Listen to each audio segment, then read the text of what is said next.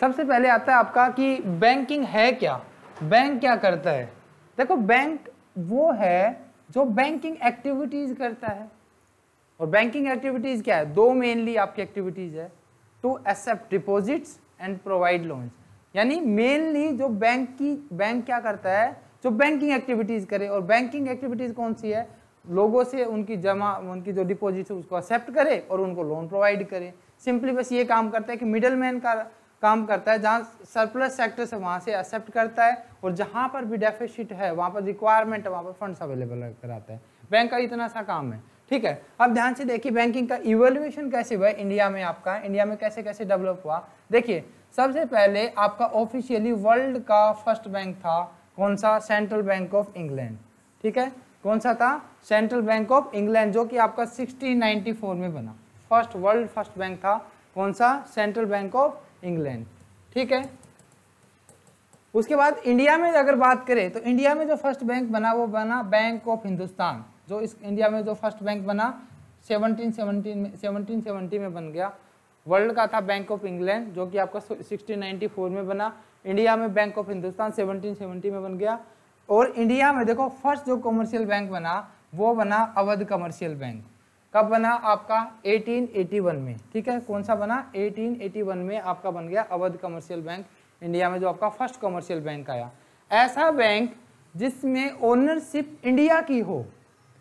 पहला जिसमें इंडियन लोगों का मतलब पैसा लगा, वो था आपका पंजाब नेशनल बैंक। ठीक है? आपका जो इंडियन का जो बैंक बना, वो कौन सा था? Punjab national bank.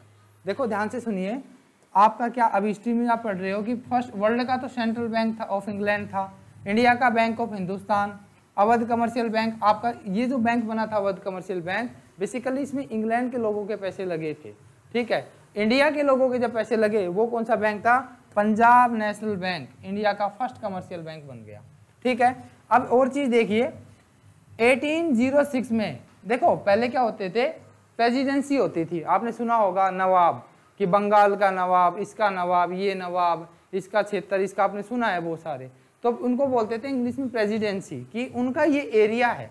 तो तीन प्रेसिडेंसी थी, जैसे आपका बैंक बंगाल। बंगाल जो प्रेसिडेंसी थी तो वहाँ पर बैंक बनाया बैंक ऑफ़ बंगाल ठीक है?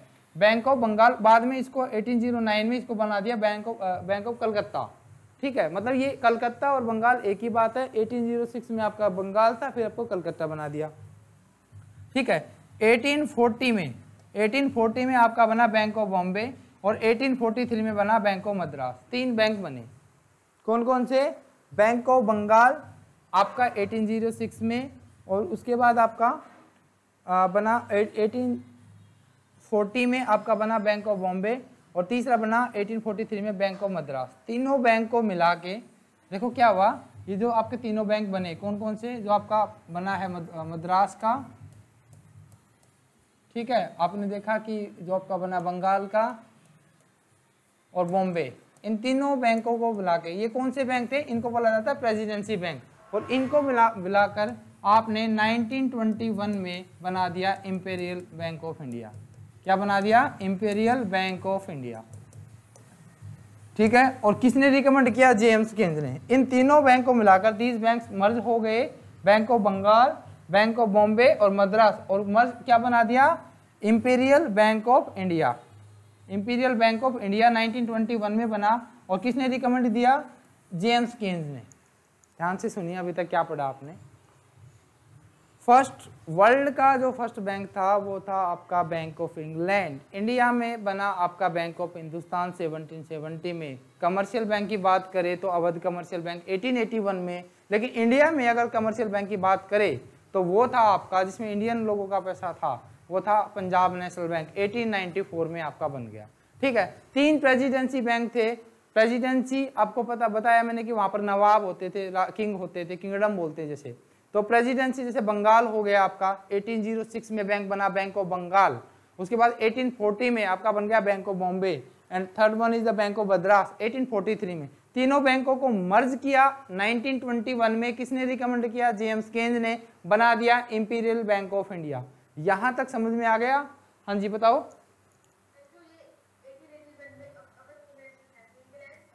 मतलब इसमें जो आपकी फंडिंग जो हो रही थी, जो पैसा लगा था, वो इंग्लैंड वालों ने लगा हुआ था मोस्टली ठीक है? इंडिया के लोगों ने इसमें लगाए थे पंजाब नेशनल बैंक में। ठीक है? ओके आगे आइए भैया।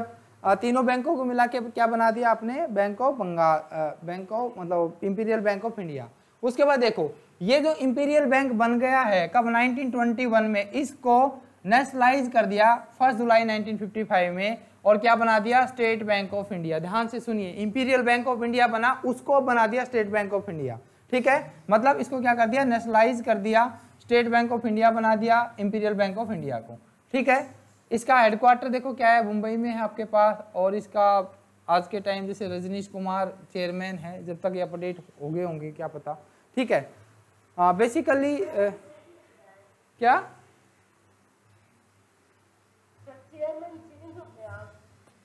ठीक है, कोई नहीं अपडेट कर लेंगे आप।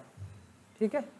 जो भी देख लेना आपको मुझे इसका ध्यान नहीं है अभी। ठीक है, उसके बाद देखिए, इसकी जो शेयर होल्डिंग है, वो किस तरीके से बनी आपकी शेयर होल्डिंग शेयर होल्डिंग जो बनी एसबीआई में 1955 में, यानी इंपीरियल बैंक को जब नेशनलाइज किया गया नेशनलाइज का मतलब होता है गवर्नमेंट उसके, उनके शेयर्स परचेज कर लेगी।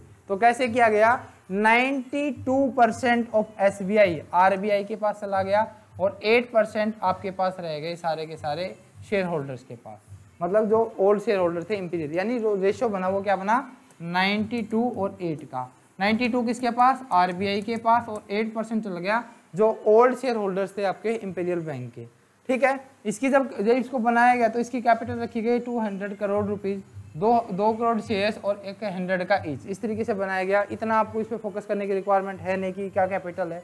ठीक है? इसकी आज के टाइम से वर्किंग इसकी अथराइज कैपिटल की बात करें तो five five thousand crore rupees है। और इसका जो शेयर होल्डिंग है गवर्नमेंट का शेयर्स कितना है? Sixty eight point sixty one point two eight percent बाकी डिफरेंट लोगों के पास है। एक होता है गवर्नमेंट बैंक और एक होता है पब्लिक सेक्टर बैंक दोनों में क्या डिफरेंस होता है? देखिए गवर्नमेंट बैंक में 50 परसेंट से ज़्यादा शेयर होल्डिंग होती है गवर्नमेंट की। जैसे कि यहाँ पर गवर्नमेंट की शेयर होल्डिंग है 61.28 परसेंट इसलिए एसबीआई आपका क्या है?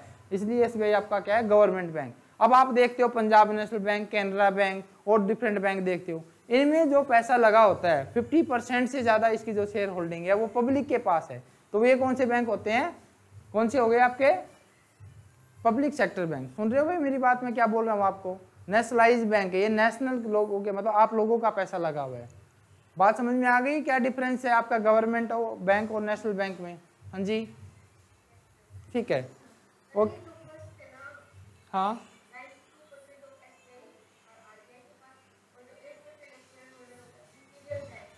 ये तो 1955 में था। उसके बाद आरबीआई से गवर्नमेंट ने परचेज कर लिया और एट परसेंट इसके पास है 61.28 परसेंट ठीक है? हाँ जी। तो इस तरीके से आपके पास, और देखो, इसके बाद हुआ क्या? 1955 के बाद 1955 में 59 में इसने अपनी सेवन सब्सिडरीज बनाई। जैसे आपने नाम सुना होगा, state bank of Travancore state bank of Patiala, state bank of Bikaner and Jaipur, state bank of Karnataka, इस तरीके से आपने मैसूर का नाम सुना होगा। इस तरीके से इसने सेवन सब्सिडरीज बनाई। फिर क्या हुआ? 2007 में दो सब्सिडी को मिला दिया, और 1 अप्रैल 2017 में जितनी भी इसकी पाँच सब्सिडीज बची हुई थी, और भारतीय महिला बैंक मिलाकर इनको मर्ज कर दिया गया एसबीआई में, अगर आपको याद हो। मतलब जितनी भी सब्सिडीज थी, मैंने क्या बताया 1955 में एसबीआई बन गया इंपीरियल बैंक से। 92 और 8 को रेशो रखा गया। आफ्टर दैट इसका क्या किया गवर्नमेंट ने शेयर्स इसका एक्वायर कर लिया आरबीआई से। Eight percent sixty eight percent है। 59 में सेवन सब्सिडीज बनाई लेकिन दो सब्सिडीज को 2007 में इसने एसबीआई में मर्ज कर लिया गया। रिमेनिंग फाइव को 2017 में फ़र्स्ट अप्रैल 2017 में मर्ज कर दिया गया भारतीय महिला बैंक जो कि 2013 में बनाया था। आ, उस उसको और बाकी जो पाँच सब्सिडीज थे उसको एसबीआई में मर्ज कर दिया गया। इतना क्लियर है आपको? हाँ जी बताओ। ठीक है? ओके अच्छा इसका इम्पैक्ट क्या पड़ा था? ये बहुत इंपॉर्टेंट पॉइंट है। जब ये मर्जर हुआ ना मर्जर हुआ तो एसबीआई के जो शेयर प्राइसेस है, वो तो हो गए डिक्रीज और सब्सिडीज के हो गए थे? वो इंक्रीज हो गए थे। ऐसा क्यों हुआ? क्योंकि सब्सिडी को पता था कि उनके शेयर्स एसबीआई में जाएँगे। एसबीआई के शेयर्स हो जाएँगे तो उनकी डिमांड बढ़ी। तो डिमांड बढ़ी तो प्राइसेज इंक्रीज हो गए। एसबीआई में क्योंकि बहुत सारे लोग आ गए इसमें तो इसके प्राइसेज आपके डाउन हो गए थे। ठीक है? तो ये अभी एट प्रेजेंट जो SBI की सब्सिडी वो ये है आपकी SBI life insurance limited SBI cards आपने देखा होगा, ठीक है? S cards and services SBI general insurance ठीक है? जियो पेमेंट बैंक में भी इसकी आपकी थर्टी परसेंट शेयर्स है आपका। और यस बैंक में आपको पता होगा, एक फ्रॉड हुआ था थोड़े टाइम पहले। तब गवर्नमेंट ने क्या किया? आरबीआई ने इसकी शेयर होल्डिंग 49 परसेंट इसको यस बैंक की गवर्नमेंट को दे दी, इसको एसबीआई को दे दी। तो ये इसकी सब्सिडरी के रूप में काम करता है बैंक मतलब एसबीआई की सब्सिडरी में। SBI life insurance cards S general Jio payment और यस बैंक ठीक है? तो ये वाली, ये कोई ये था, देखो, क्या था कि पाँच सब्सिडरीज थी। अब उनको पता है कि एक वो एक छोटे छोटे बैंक के रूप में काम कर रहे थे। ये एक बड़े बैंक के साथ मर्ज होंगे, इनको पता था। तो इनकी डिमांड बढ़ी, इनकी डिमांड बढ़ी तो इनके शेयर प्राइसेस बढ़ गए। अब शेयर प्राइस बात की एस की। तो एस में क्या हुआ? एस में अब बहुत सारे लोग ऐड होते चले गए तो उसके शेयर प्राइसेस कम हो गए। सिंपल सी बात है, जब सप्लाई बढ़ती है तो प्राइसेस कम हो जाते तो यहाँ पर भी ये चीज़ हो गई। ठीक है? और ये इसकी सब्सिडी है life insurance S B card general insurance Jio payment और यस बैंक ठीक है? तो ये था भाई आपका अभी आई का। आगे देखो। बात आता है कि ध्यान से देखिए कि कौन कंट्रोल करता है आपके बैंकिंग सेक्टर को? एक तो आपका है इलेक्ट्रॉनिक डाटा इंटरफेस एक्ट जो आपका है 2002 में। ईडीआई एक्ट बोलते हैं आईटी एक्ट 2000 वो कंट्रोल करता है आईटी एक्ट जो ये रहा आपका। एक आरबीआई एक्ट आरबीआई एक्ट आपका करता है 1934 ये उसको कंट्रोल करता है। ठीक है बैंकिंग रेगुलेशन एक्ट आपका 1949 ये रेगुलेट करता है। ठीक है मतलब क्वेश्चन आ जाता है कि आपके बैंकिंग सेक्टर को कौन कौन रेगुलेट करता है। तो आपने क्या देखा? EDI electronic data data interface ये इसको कंट्रोल करता है। आरबीआई ये इसको कंट्रोल करता है। आरबीआई एक्ट 1934 और आईटी एक्ट 2000 ये इसको कंट्रोल करता है और बैंकिंग रेगुलेशन एक्ट 1949 ये इसको रेगुलेट करता है। ठीक है? अब आ जाओ भाई आरबीआई पे। ये इसको रेगुलेट करता है। आरबीआई देखो कैसे बना, कैसे आपका बनता, चला गया। आज सिर्फ़ हम ना हिस्ट्री पढ़ेंगे पूर्व बैंकिंग की। अभी आपने SBI का देखा जो SBI देख रहे हो आपने देखा कहाँ से चल के आया है अठारह सौ छह से चल के उन्नीस सौ पचपन में SBI बना उसके बाद इसकी सब्सिडी बनी फिर इसमें मिली भारतीय महिला बैंक को मिलाएगा तो ये आपने समझा भी SBI के बारे में सारा SBI क्या है गवर्नमेंट बैंक है क्यों है क्योंकि शेयर होल्डिंग गवर्नमेंट की ज़्यादा है ठीक है अब बात करते हैं आरबीआई कैसे बना आरबीआई जो बना था आपका आरबीआई जो इसका एक्ट है 1934 आरबीआई एक्ट 1934 इसका नाम है आपका क्या है आरबीआई एक्ट 1934 इस एक्ट के अंदर हिल्टन यंग कमीशन ने रिकमेंड किया कि आपके इंडिया में एक सेंट्रल बैंक होना चाहिए। तो कौन सा कमीशन हिल्टन यंग कमीशन ने कहा कि एक बैंक होना चाहिए और इसकी रिकमेंडेशन पे आपकी फ़र्स्ट अप्रैल 1934 को आरबीआई बना दिया गया। और जब आरबीआई बनाया गया तो क्या रखे गए? पाँच लाख शेष और हंड्रेड का ईच पाँच करोड़ की अथोराइज कैपिटल रखी गई। अब इसको देखो इसका भी, इसके भी जो शेयर होल्डिंग्स थी डिफरेंट डिफरेंट पर्सन के पास थी, इनकी शेयर होल्डिंग होल्डिंग को गवर्नमेंट ने एक्वायर किया कब? फ़र्स्ट जनवरी 1949 में, यानी नेशनलाइजेशन हो गया आरबीआई का 100 परसेंट और 49 में ही एक एक्ट बनाया गया बैंकिंग रेगुलेशन एक्ट इन 1948 ठीक है? क्या बनाया गया? बैंकिंग रेगुलेशन एक्ट 1949 ये एक्ट आपका बन के आया।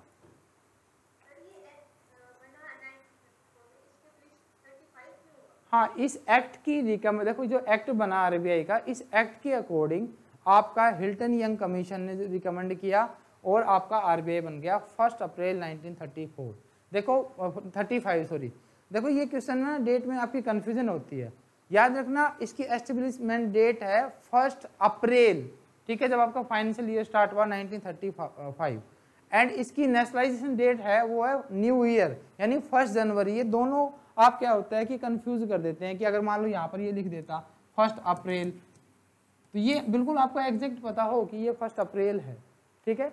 क्या आपकी फ़र्स्ट अप्रैल आपकी 1935 है और ये आपकी फ़र्स्ट जनवरी है ठीक है? ये तो था आपकी आरबीआई जब बनने तक का। आ, अगर आप आगे देखिए बैंकों जो आपके नेशनलाइज बैंक है आप देखते हो पीएनबी कैनरा बैंक ये कैसे बने? इनकी क्या हिस्ट्री है? इनका भी देखो अब। देखो 19 इंडिया में ना क्या था? सारे के सारे प्राइवेट सेक्टर बैंक काम कर रहे थे। अब आप आम पब्लिक को पैसा नहीं मिल रहा था। इंदिरा गांधी आपकी गवर्नमेंट थी 1969 में।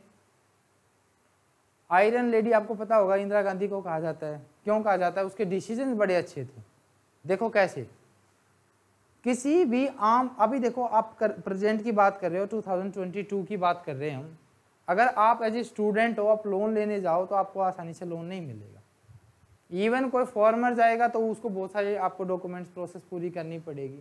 और जितने भी बड़े बिजनेसमैन हैं, ये बिल्कुल अपने लिंक की वजह से आराम से पैसा अरेंज कर लेते हैं लोन ले लेते हैं। ये मैं बात कर रहा हूँ 2022 की और मैं बात कर रहा हूँ उन्नीस नाइनटीन की। तो उसमें क्या हो रहा होगा? उसमें आप देखिए कि लोगों तक तो पैसा पहुँचा ही नहीं। आपके अकाउंट कब खुले हैं? जब आपकी जन धन योजना जब आई है टू में। मोस्टली के अकाउंट तब ओपन हुए हैं। ठीक है? तो उस वक्त की बात कर रहा हूँ तो उस वक्त क्या प्रॉब्लम आई कि आम लोगों तक पैसा नहीं पहुँचा बैंक पहुँच ही नहीं पाया, क्योंकि सारा प्राइवेट था, और प्राइवेट जहाँ वर्ड आ गया तो टू मेक प्रॉफिट्स वो प्रॉफिट्स कमाएगा। तो इंदिरा गांधी ने गवर्नमेंट ने क्या किया कि बैंकों का नेशनलाइजेशन किया कंडीशन बेस किया गया। क्या कंडीशन नेशनलाइजेशन का मतलब समझ में आया कि उनकी जो कैपिटल है, उनसे खरीदना गवर्नमेंट परचेज कर लेगी। कंडीशन क्या रखी? पहली, आपका नेशनलाइजेशन हुआ 19 जुलाई आपकी 1969 में। कंडीशन कितने बैंकों का? 14 बैंक्स का। कंडीशन क्या? जिसकी पेड अप कौन सी capital paid up capital 50 crore या उससे ज़्यादा थी। कंडीशन ध्यान से सुनो। पहला नेशनलाइजेशन हुआ 19 जुलाई 1969 में। 14 बैंक्स का हुआ और किनका? जिनकी पेड अप कैपिटल 50 करोड़ या उससे ज़्यादा थी। दूसरा नेशनलाइजेशन हुआ आपका 6 अप्रैल 1980 में। कितने बैंकों का सिक्स बैंक्स का। ठीक है? सिक्स बैंक्स का हुआ। कंडीशन क्या है? जिसकी पेड अप कैपिटल 200 करोड़ या उससे ऊपर थी। ठीक है? तो कितने नेशनलाइज बैंक हो गए? 14 प्लस में 6 20 नेशनलाइजेशन बैंक हो गए थे आपका अब तक? 80 तक। 1993 में क्या हुआ? एक बैंक था new development bank sorry new bank of India 1993 में इसको मर्ज कर दिया गया पीएनबी में। तो एक कम हो गए, कितना बच गया? 19 आपके नेशनलाइज बैंक बन गए। यहाँ तक कोई डाउट है? हाँ भाई बताओ, बहुत ही इंटरेस्टिंग है आपने बैंकिंग की हिस्ट्री आप अगर पहले पढ़ी तो बहुत अच्छा है, नहीं, अब आप देखोगे तो बैंक बन कैसे रहे हैं? देखो, आपको कुछ नया ही पता लग रहा है। कोई डाउट है यहाँ तक? ठीक है ओके बहुत अच्छे, ध्यान से सुना बहुत ही इंटरेस्टिंग चीज़ें हैं। आपने बैंक बना दिए 19 उसके बाद क्या हुआ? फ़र्स्ट अप्रैल 2019 को तीन bank Vijaya bank Dena bank और आपका बैंक ऑफ़ बड़ौदा। तीनों को मतलब मिला के बना दिया गया बैंक ऑफ़ बड़ौदा। ठीक है? मतलब बैंक ऑफ़ बड़ौदा में विजया बैंक और देना बैंक को मर्ज कर लिया गया। तो देखो क्या हुआ? माइनस थ्री प्लस में वन, यानी सेवनटीन बैंक हो गए। क्योंकि तीन को मिलाकर एक बना दिया। कितने बच गए आपके नेशनलाइज बैंक सेवनटीन बैंक आपके नेशनलाइज बैंक बन गए। ठीक है? उसके बाद देखिए, उसके बाद क्या हुआ आपके पास? देखिए उसके बाद आपका हुआ फ़र्स्ट अप्रैल 2020 को। एक साल के बाद ही देखिए, आपने यहाँ पर कब किया है? यहाँ पर आपके फ़र्स्ट अप्रैल 19 यहाँ पर 20 यहाँ पर क्या हुआ? आपके 10 बैंक्स को मिलाकर फोर बैंक्स बना दिए। जो 10 नेशनलाइज बैंक है, उसको मिलाकर फोर नेशनलाइज बैंक बना दिए थे। आपने देखा होगा कैसे? OBC oriental bank of commerce plus united bank of commerce bank of India Punjab national bank into Punjab national bank. ये एक आप देखते हो, पंजाब नेशनल बैंक है आपका। ठीक है? दूसरा, सिंडिकेट बैंक को कैनरा बैंक में मिला दिया गया। ठीक है? Andhra bank plus corporation bank plus union bank of India ये बना दिया गया यूनियन बैंक ऑफ़ इंडिया में। ठीक है? और इलाहाबाद बैंक को मर्ज कर दिया गया इंडियन बैंक में। तो देखो, कितने बैंक हो गए थे आपके पास? आपने पढ़ा था 19 फिर आपने क्या किया? माइनस वन फिर आपने, फिर क्या किया था? बताओ।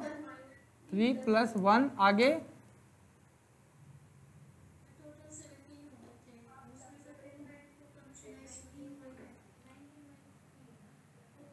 हाँ ये सॉरी ये नाइन ट्वेंटी हो गए थे, ठीक है ओके ऐसे तो आपके fourteen plus six twenty minus one फिर आपके पास आया नाइनटीन माइनस थ्री प्लस में वन और ये बन गया सेवनटीन और सेवनटीन से आगे अभी क्या हुआ? सेवनटीन से आगे ऐसे हुआ आपका कि कितने बैंक? दस मिलाए, दस को मिला के चार बना दिए। तो यानी माइनस टेन और प्लस के फोर। तो वैल्यू कितनी बच गई? इलेवन। तो आपसे पूछे कि कितने बैंक है? तो आप कहोगे कि इलेवन नेशनलाइज बैंक आज के टाइम में। कितने हैं? Eleven nationalise bank. कंसेप्ट समझ में आएगी कैसे कैसे बना है पूरा प्रोसेस? हाँ जी। ठीक है? देखो, ध्यान से सुनो, फिर से बता देते हैं, कोई इशू नहीं है।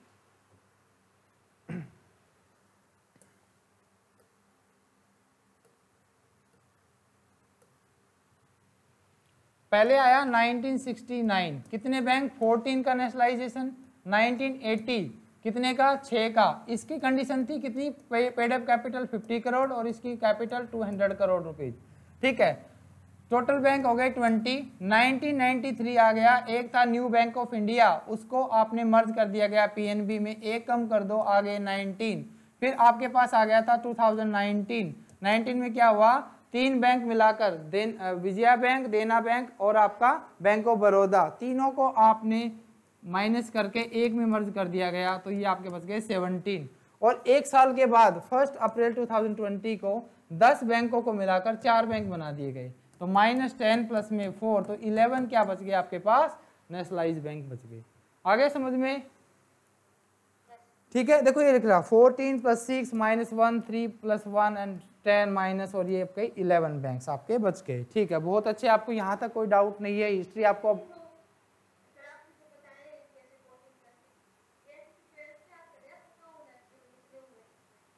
हाँ नहीं, आपको बस इतना पता हो कि 1960 में कंडीशन तो पता होनी चाहिए ना कि मैं 50 करोड़ थे जब आपका।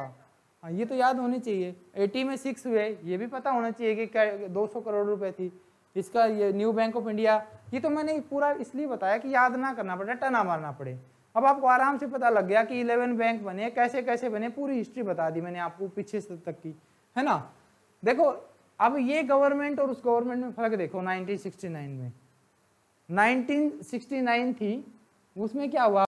देखिए भाई, आपके नेशनलाइज बैंक हो गए 11 और एक आपका एसबीआई जो गवर्नमेंट सेक्टर का बैंक है। तो टोटल बैंक हो गए आपके पब्लिक सेक्टर के 12 देखो, अब ध्यान से सुनना, मैं एक स्टेटमेंट बोलूँगा। लिखी भी होगी हाँ ये रही आपकी स्टेटमेंट स्टेटमेंट क्या है? ये आपका है public sector bank, public sector bank ठीक है? और इसमें ये नेशनलाइजेशन 11 बैंक और एक आपका एसबीआई, इस तरीके से है। तो देखो, आपका कैसे भी ना? 11 और एसबीआई, इस तरीके से आपने लिखा। ध्यान से देखिए, क्या लिखोगे आप? All nationalise banks are public sector bank है ना? All nationalise are public sector banks and but all public sector bank sectors bank sector are not nationalise bank मतलब जितने भी आपके पब्लिक सेक्टर बैंक है, वो सारे नेशनलाइज नहीं है। क्यों नहीं है? क्योंकि एक उसमें एक एसबीआई आता है। ध्यान से सुनो भाई, मैंने क्या बताया? सारे nationalise bank public sector bank तो है, लेकिन सारे पब्लिक सेक्टर बैंक नेशनलाइज नहीं है बिकॉज़ ऑफ़ एसबीआई क्लियर है पॉइंट हाँ जी? ठीक है? ओके उसके बाद भाई ये मर्ज के बाद इस तरीके से आपके बैंक बने हैं। देखो मर्ज बैंक कौन कौन से, अगर आपसे पूछे क्वेश्चन में आ जाए तो देखो एसबीआई आपका मर्ज बैंक है, सारे subsidiary bank of Baroda merge bank PNB देखा आपने। कैनरा बैंक मर्ज बैंक है। यूनि आपका यूनियन बैंक ऑफ़ इंडिया ये मर्ज बैंक है। इलाहाबाद बैंक को इंडियन बैंक के मिला दिया गया। ये मर्ज बैंक है। उसके अलावा जो आपके इंडिपेंडेंट बैंक बच गए, वो कौन से थे? Indian overseas bank Indian overseas bank UCO bank bank of Maharashtra Punjab and Sind bank bank of India और सेंट्रल बैंक ऑफ़ इंडिया ये सारे आपके इंडिपेंडेंट बैंक रह गए। ठीक है? छह तो हो गए मर्ज और छह हो गए आपके इंडिपेंडेंट बैंक तो टोटल कितने हैं? ट्वेल्व एक आपका एसबीआई बाकी आपके नेशनलाइज बैंक ठीक है? लार्जेस्ट बैंक की बात करें तो इस तरीके से आपका S B I P N B bank of Baroda Canara bank और ये भी टाइम टू टाइम अपडेट होता रहता है। लेटेस्ट हम देख लेंगे क्या बेसिकली यही होगा आपका, ज़्यादा चेंज नहीं मिलेगा एसबीआई आपका टॉप है। ओवरऑल बैंक की बात करे जाए तो आपका एच टॉप पे चलता है। ठीक है? ओवरऑल की बात करें एसबीआई आपका पब्लिक सेक्टर का है और प्राइवेट सेक्टर में भी आपका एच डी आपका प्राइवेट सेक्टर बैंक है। ठीक है? तो ये तो हिस्ट्री थी किसकी? आपने हिस्ट्री पढ़ ली है किस किस की? आपने पढ़ लिया एसबीआई के बारे में। ठीक है? को पता लगा। आपको आरबीआई के बारे में थोड़ी बेसिक नॉलेज हो गई। आपने सारे नेशनलाइजेशन बैंक के, उसके बारे में नॉलेज हो गई। अब हम पढ़ते हैं आरआरबी रीजनल रूरल बैंक जैसे आपका सर्व हरियाणा ग्रामीण बैंक का हरियाणा में। पहले ना आपने देखा होगा गुड़गांव गुड़गांव ग्रामीण बैंक था, और दूसरे ग्रामीण बैंक थे। अब सभी को मिला के हरियाणा में एक बैंक बना दिया गया, उसका नाम रखा गया सर्व हरियाणा ग्रामीण बैंक। ऐसे ही हर स्टेट में आपके, हर स्टेट में आपके क्या है? आपके ये आरआरबी जैसे दो स्टेट को छोड़ के गोवा और सिक्किम, दो ऐसे आपके स्टेट है जहाँ पर आरआरबीज नहीं है। देखिए कैसे होता है। जो आपके आर है रीजनल रूरल बैंक मतलब रूरल एरिया के डेवलपमेंट के लिए बनाया था आर देखो क्या हो रहा था। फार्मर सेक्टर्स को लोन नहीं दे पा रहा था आपका कमर्शियल बैंक 1969 में इंदिरा गांधी आ तो गई, उसने डिसीज़न लिया, लेकिन उन्होंने देखा कि फार्मर्स तक अभी भी पैसा नहीं पहुँच रहा। तो उन्होंने रीजनल रूरल, यानी रूरल के डेवलपमेंट के लिए आपके नए बैंक बनाए, जिसका नाम रखा रीजनल रूरल बैंक याद रखना कब बने? सेकेंड अक्टूबर 1975 को। सेकेंड अक्टूबर 1975 को आपके ये बन गए। ठीक है? लेकिन इसका एक्ट बना बाद में। कब बना? एक्ट बन गया 1976 कहीं नहीं लिखा था, कोई बात नहीं। आरबीआई एक्ट जो बना वो कब बना आपका? 1976 इसका एक्ट बना। ठीक है? जब ये बना, तब देखो, कौन सी कमेटी ने रिकमेंड किया? नरसिम्हम कमेटी नरसिम्हम कौन होते थे? डिप्टी गवर्नर 1975 में ये होते थे डिप्टी गवर्नर किसके? आरबीआई के। ठीक है? आरबीआई के डिप्टी गवर्नर थे हाँ? हाँ बन ये पहले गया एक्ट इसका बाद में बनाया गया। ठीक है? बन ये पहले गया और एक्ट इसका बाद में बनाया गया। इस तरीके से इसका। और ये बनाया गया तो कैसे बनाया गया? सेंट्रल जो गवर्नमेंट थी सेंट्रल जो गवर्नमेंट थी, उसका शेयर था फिफ्टी परसेंट ठीक है? एक आया आपका स्पॉन्सर बैंक स्पॉन्सर बैंक कौन सा होता है जो इसको स्पॉन्सर करेगा? जैसे आपका सर्व हरियाणा ग्रामीण बैंक है। अगर आपने देखा होगा, उसकी ब्रांच पे लिखा होता है पीएनबी यानी पीएनबी उसको स्पॉन्सर करता है।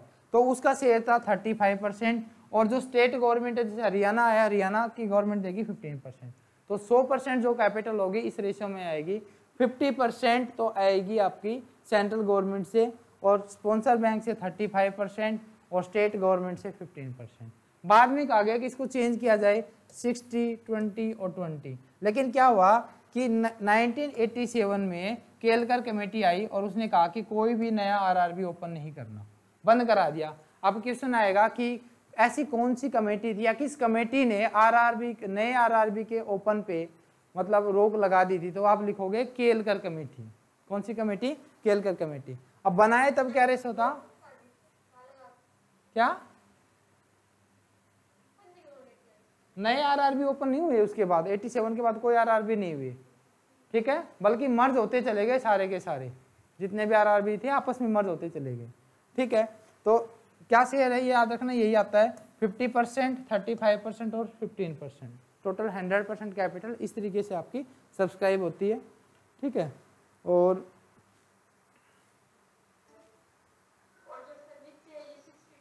ये बाद में रखा कि अब ये जब बने तब तो ये था। बाद में रखा कि भाई सिक्सटी ट्वेंटी ट्वेंटी करेंगे, लेकिन बाद में एटी सेवन के बाद बने ही नहीं है तो इसका कोई यूज़ ही नहीं है। ठीक है? ओके अब ये पढ़ लिया आपने आरआरबी का, सिर्फ़ मैं हिस्ट्री बता रहा हूँ कि कैसे कैसे डेवलपमेंट हुए आपके। बात आई, ये सारी ना आपको, ये जो भी डेट्स आ रही है सारी आपको याद रखनी होगी कि कौन सा कब कब बना, ठीक है? अब ध्यान से देखो, अब आया इंडस्ट्रियल डेवलपमेंट जो बैंक्स आए इंडिया में, वो कब आए, ठीक है? कैसे कैसे आपके इंडिया में आए?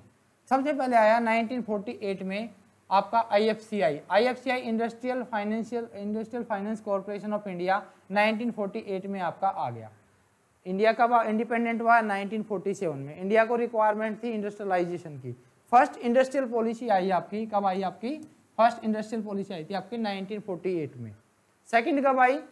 मैं क्या बता रहा हूँ आपको? इंडस्ट्रियल पॉलिसी कब कब आई? इंडस्ट्रियल पॉलिसी आपकी पहली आई थी 1948 में। सेकंड आई 1956 में। इंडस्ट्रियल पॉलिसी थर्ड, आई आपकी इंडस्ट्रियल पॉलिसी स्टेटमेंट आई 1977 में।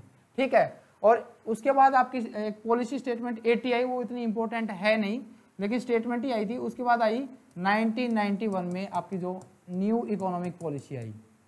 न्यू इकोनॉमिक पॉलिसी बोल सकते हो, आप इसको न्यू इंडस्ट्रियल पॉलिसी बोल सकते हो। तो इस तरीके से आपके पास आई। और इसमें तो आपको पता है क्या आया था? एलपीजी लिबरलाइजेशन प्राइवेटाइजेशन ग्लोबलाइजेशन ठीक है? तो ये बिज़नेस एनवायरमेंट का पार्ट है। आपके सिलेबस से आउट कर दिया गया, लेकिन करना नहीं चाहिए था। इस जो 1948 में जो पॉलिसी आई थी ना, इसका मेन ऑब्जेक्टिव था इंडस्ट्रियलाइजेशन कि इंडस्ट्रीज़ ग्रो करे, क्योंकि हमें पैसा चाहिए। तो सारी की सारी पब्लिक सेक्टर के लिए आपको इंडस्ट्री रखी गई। और क्या रखा गया? कि एक बैंक बनाया गया I industrial finance corporation of India तो आपसे कोई पूछे कि फ़र्स्ट आपका इंडस्ट्रियल डेवलपमेंट बैंक इंडिया में कौन सा था? तो वो कौन सा था? आईएफसीआई फिर आपका बना आईसीआईसीआई लेकिन इसमें कोऑपरेट किया था किसने?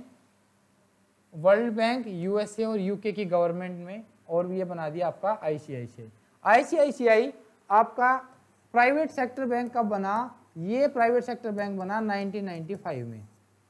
1955 में किसने बनाया? 1955 में with the corporation of USA UK and world bank आपका बन गया ये आईसीआईसीआई किस पर्पज के लिए? कि आपके पब्लिक सेक्टर आपके जो प्राइवेट सेक्टर आपका डेवलप हो लोन मिल जाए आपको। लेकिन इसने बैंक के रूप में कब से स्टार्ट किया? कॉरपोरेशन था ये पहले। फिर ये कब बना? फिर ये बना आपका 1995 में एक आपका प्राइवेट सेक्टर बैंक ठीक है? 1964 में क्या क्या आया आपके पास? बैंकिंग सेक्टर में UTI unit trust of India industrial development bank of India देखिए मेरी बात ध्यान से सुनिए। ये आपका फ़र्स्ट आपका फाइनेंशियल कॉरपोरेशन था। एक लार्जेस्ट इंडस्ट्री के लिए आपका बना था आईडीबीआई इंडस्ट्रियल डेवलपमेंट स्पेसिफिक बना दिया गया। फ़र्स्ट फाइनेंशियल कॉरपोरेशन कौन सा था? आईएफसीआई और सिर्फ़ स्पेसिफिक बनाएगा किसके लिए?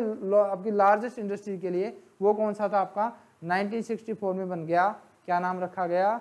Industrial development bank of India और क्या बना? Unit trust of India mutual fund की जो कंसेप्ट है, वो कौन से आया? यूनिट ट्रस्ट ऑफ़ इंडिया अब देखो, आपने देखा होगा यूनिट ट्रस्ट ऑफ़ इंडिया जो यूटीआई की बात हो रही है, जो आज का जो एक्सिस बैंक है ना, वही आपका यूनिट ट्रस्ट ऑफ़ इंडिया है। 2004 में दो यूटीआई वन और टू का डेवलप हुआ। एक ने बैंकिंग सेक्टर एक ने म्यूचुअल फंड का काम किया। एक और इंटरेस्टिंग बात यह है कि 1987 तक म्यूचुअल फंड में इसके पास मोनोपोली थी। कोई आया ही नहीं एंटर ही नहीं कर पाई। ठीक है? मतलब मोनोपोली थी, बाद में एस एंटर हुआ। उसके बाद आपका ये हुआ। 1976 में देखो क्या हुआ। ये जो बना आपका आई पूरा का पूरा, जो शेयर होल्डिंग थी, वो किसके पास थी? वो शेयर थी आरबीआई के पास। इसकी जो ओनरशिप है, वो ले ली फिर किसने? 1976 में किसने? 100 percent share holding central government में। तो ये सेंट्रल गवर्नमेंट का बैंक बन गया। ठीक है? 1993 में इसने पहली बार जो आईडीबीआई था, इसने अपने शेयर कैपिटल इशू शुरू कर स्टार्ट करना शुरू कर दिया। ध्यान से देखो 48 में I F C I six fifty five में I C I C I sixty four में U T I I D B I nineteen seventy six में क्या हुआ, जो ये आपका जो आई डी बी आई था, इसकी जो शेयर होल्डिंग थी, सारी की सारी गवर्नमेंट ने ले ली गवर्नमेंट अंडरटेकिंग हो गया। 1993 में इसने अपनी पहली बार अपनी कैपिटल पब्लिक में इशू कर दी। तो ये वाली आपका, आप ध्यान रखेंगे क्या क्या हुआ है अभी तक, ठीक है? उसके बाद बन गया, देखो, ये जो आपका आईडीबीआई था लार्जेस्ट लार्ज इंडस्ट्रीज़ को तो लोन दे रहा था कंपनीज़ को, लेकिन ये फेल हो गया स्मॉल इंडस्ट्रीज़ को लोन देने के लिए। तो इसके लिए आपका आया क्या? SIDBI small industrial development bank of India कब बना आपका? इसका जो एक्ट है, वो तो 1989 में है, और ये बन गया आपका 2 अप्रैल सेकेंड अप्रैल 1990 को ये इंडिया में बन गया। काम क्या था इसका? ये जो आपकी स्मॉल इंडस्ट्रियल है इंडस्ट्रीज़ है उसको लोन देना। क्यों? ये किस वजह से बना था? आपकी जो आईडीबीआई था, वो लोन देने में आपका सक्सेसफुल नहीं हो रहा था। ठीक है? अब बाद में क्या हुआ? ये इंडस्ट्रीज़ को लोन दे रहा था। लेकिन ये जो आपका नई जो आपके छोटे छोटे इन्वेस्टर्स है, जो अपना काम स्टार्ट करना चाहते हैं, उनको लोन नहीं दे रहा था। उनके लिए आपका आ गया मुद्रा बैंक मुद्रा मतलब micro unit development refinance agency micro unit development refinance agency इसका काम क्या है? जो भी स्टार्टअप है, जो भी स्टैंड अप है, उनके लिए लोन देना। तीन कैटेगरी के देते हैं, शिशु, किशोर, तरुण। ये पूरा डिटेल्ड में पढ़ेंगे, जब इसकी बारी आएगी, हम पढ़ेंगे तो तब। देखो आईडीबीआई बना 1964 में। इसकी लिमिटेशन थी कि लार्ज इंडस्ट्री को दे रहा है तो बन गया सिडबी 1990 में। इसकी लिमिटेशन थी कि इंडस्ट्री को दे रहा था, लेकिन नए को नहीं दे रहा था। तो इसके लिए आपकी जो पीएम की जगह नरेंद्र मोदी गवर्नमेंट थी 8 अप्रैल 2015 को आपका बना दिया मुद्रा बैंक। और मुद्रा आपको पता है कि कोई, आपने देखा होगा कि कोई ब्रांच नहीं दिखेगी आपकी मुद्रा को। आपको क्या लिखा है? रीफाइनेंस। रीफाइनेंस का मतलब होता है कि भाई पंजाब नेशनल बैंक मुद्रा की स्कीम के अंदर किसी को लोन दे देगा, ये पंजाब नेशनल बैंक को फाइनेंस कर देगा। ठीक है? तो ये क्या होता है? आपकी रीफाइनेंसिंग होती है। उसके बाद क्या हुआ? 21 जनवरी 2019 को 21 जनवरी 2019 को 51 percent share holdings of IDBI L ने परचेज कर ली। किसने परचेज कर ली? एलआईसी ने क्या कर लिया? परचेज कर ली एक्वायर कर लिया 51 percent share holding of IDBI और आईडीबीआई क्या बन गया? प्राइवेट सेक्टर बैंक बन गया। क्या बन गया? प्राइवेट सेक्टर बैंक बन गया। ठीक है? हाँ भाई, मैं ये पूछ रहा था जो आपके जो करेंसी है, जो आरबीआई इशू करता है, उसको क्या बोलते हैं? लीगल टेंडर जब भी कोई करेंसी कोई सेंट्रल बैंक अप्रूव करता है, उसको बोलते हैं लीगल टेंडर लीगल टेंडर क्या हुआ? हमें बताओ, क्या हुआ लीगल टेंडर जो कोई करेंसी आपकी कोई भी सेंट्रल बैंक आपका अप्रूव कर देगा, उसको बोलते हैं लीगल टेंडर जैसे आपका रुपी है रुपी किसने अप्रूव कर रखा है? आरबीआई में ये करेंसी आपके ओवरऑल इंडिया में चल जाएगी. क्रिप्टो करेंसी है, उसको इंडिया ने अलाउड नहीं किया तो लीगल टेंडर में अभी नहीं है मतलब आरबीआई ने एक्सेप्ट नहीं किया उस चीज़ को। तो मतलब क्या हुआ कि वो आपका लीगल टेंडर में नहीं है। अब मेरा अगला क्वेश्चन जो मेन क्वेश्चन वो ये है। आपने देखा है कि हर एक नोट पे महात्मा गांधी की पिक्चर होती है। होती है ना? है ना? मेरा क्वेश्चन ये है, ये कब से है? मतलब आज है? होगी, है ना? हाँ आपके जन्म से तो है। आपके जन्म से तो है, आपने देखा जब देख लिया। लेकिन एक्चुअलिटी में क्या, कब से आप ये देखना? अब आप इसका आंसर ढूंढ के लेके आएँगे। मेरा, मैंने तो आपको आपको हाँ कहाँ लिख रखी उस पर उस पर तो ये लिख रखा है कि धारक का मतलब होता है जिसके पास है। ठीक है? हाँ होल्डर तो अब मेरा क्वेश्चन क्या था कि आप, ये जो गांधी की जो पिक्चर है, ये कब से है? ठीक है? तो आप देखते हैं कल की क्लास में आप लेके आते हो या नहीं? नहीं लेके आएँगे तो फिर मेरे को। हाँ देख लिया। वेरी गुड सेकंड देखो क्या हुआ? नाइनटीन सिक्सटी नाइन में आपको देखो बहुत ही एक लार्जेस्ट ईयर रही आपकी बैंकिंग सेक्टर के लिए। आपने देखो नेशनलाइजेशन किया। महात्मा गांधी की जयंती आई सेकेंड अक्टूबर 1969 में। क्या हुआ? आपको देखो, जब आपकी जो सेलिब्रेट की जा रही थी, तब आइडिया आया कि क्यों ना इसकी करेंसीज पे मतलब जो इंडिया के रुपीज़ है, इस पर आप महात्मा गांधी को लेके आए। तो आपसे कोई पूछे ना कि कब से आए नोट्स की पूरी हिस्ट्री है। पहले आप नोट्स देखो, वो गले वैसे होते थे, वो आपका स्तंभ वाला साइन होता था। उससे पहले पीछे आपने देखा होगा, वो पीछे संसद भवन का भी देखा होगा। तो अलग अलग तरीके के हैं कि कब से कैसे डेवलप हुआ। पहले महात्मा गांधी का आपको पता होना चाहिए, कब आया? कब आया? सेकेंड अक्टूबर 1969 से आया उससे पहले नहीं था। ठीक है? उससे पहले ही कुछ होते थे। ठीक है? तो ये वहाँ मर तो ठीक है, शाबाश। ये कह रहे कि गांधी जी की अंतिम वो मतलब एक्सपायर होगी उसके बाद। ठीक है हाँ तभी आए। हाँ बोलो। हाँ हमने पढ़ लिया एलआईसी को कब एक्वायर कर लिया और सब्सिडी बन गई। अब आ गया आपका नाबार्ड नाबार्ड कब बना भाई आपका? नाबार्ड आपका है national bank for agriculture and rural development देखो, मेरी बात ध्यान से सुनो। एग्रीकल्चर स्पेसिफिक बैंक बनाएगा, जैसे आर थे। उनको कंट्रोल करने के लिए बड़े ऑर्गेनाइजेशन की रिक्वायरमेंट पड़ी, जैसे आपका रिज़र्व बैंक ऑफ़ इंडिया है। रिज़र्व बैंक ने एक अपना ये कहा कि भाई ओवर बर्डन बर्डन है तो उसने एक अपने एक ओवर खोल दिया, जो सिर्फ़ एग्रीकल्चर सेक्टर को रूरल एरिया को। ध्यान रखेगा तो कौन सा बना? आपका बन गया कौन सा? NABARD national bank for agriculture and rural rural bank development और कौन सी कमेटी थी? ये बहुत ही इंपॉर्टेंट है। आपकी शिव रमन कमेटी, ये आपकी डेवलप कराई। कब बना? 12 जुलाई उन्नीस को।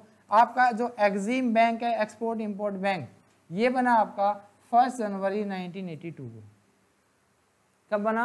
आपका एग्जिम बैंक बन गया आपका 1982 में। आपका जनवरी फ़र्स्ट से 82 में आपका ये बन गया। ठीक है? बैंकिंग जो आपका डेवलपमेंट है, उसको इस तरीके से कैटेगराइज किया है। देखो कैसे? पहला फेस वन फेस वन आपका कौन सा है? प्री नेशनलाइजेशन फ़ेज़ देखो 1955 में पहला एसबीआई का नेशनलाइजेशन हुआ तो इसको क्या बोला गया? प्री नेशनलाइजेशन फ़ेज़ ठीक है? Phase two era of nationalisation जब आपका नेशनलाइजेशन हुआ कंसोलिडेशन हुआ 1995 से 1990 तक, ये आपका क्या होगा? ये सारा का सारा क्या था? नेशनलाइजेशन किया गया कंसोलिडेशन किया गया। थर्ड फ़ेज़ आया 1991 के 90 के बाद। Indian financial and banking sector reforms क्या आया? बैंकिंग सेक्टर रिफॉर्म्स के। दो कमेटी आई आपके नरसिम्हम कमेटी 1991 में आई, फिर 1988 में आई मल्होत्रा कमेटी आई लिबरलाइजेशन आया। तो ये टाइम पीरियड था 2004 का। उसके बाद आपका क्या आया? आपका लिबरलाइजेशन इंक्रीज हो गया बैंक खोलना आसान हो गया इस तरीके से। अब जो फ़ेज़ फाइव आएगा ना मतलब आप उसको, जो मैं अभी ऐड कर रहा हूँ उसको फ़ेज़ फाइव फ़ेज़ फाइव किस, कब से आएगा? फ़ेज़ फाइव आएगा आपका 2019 से। 19 से या 18 से। क्या? फिर से कंसोलिडेशन हुआ बैंकों का। कंसोलिडेशन एंड प्राइवेटाइजेशन ये आपका फ़ेज़ फाइव बनेगा, मैंने ऐड कर दिया ये। ठीक है? तो उस जो, कब तक? 19 तो चलता ही रहा है अभी तो। ऐसे नहीं होता ना, पचास, दस, बीस साल तो चलेगा ना। जब तक तो चल रहा है मर्जर अभी प्राइवेट सेक्टर चल रहा है होते जा रहे हैं। दस बीस साल चलेंगे ये मतलब अपडेट अभी है। और ये इसमें नहीं लिख रखा फेस वन पीरियड टू ये आपका ओनवर्ड्स 2004 से ओनवर्ड्स लिख रखा है। तो अभी क्या है 2018 तक आ गया ओनवर्ड्स अभी आपका वो चलेगा प्राइवेटाइजेशन का। ठीक है? तो इस तरीके से है आपका भाई। तो आज के लिए आपने यहाँ तक पढ़ लिया। नेक्स्ट क्लास में हम बाकी डिस्कस करेंगे। मिलते हैं। तो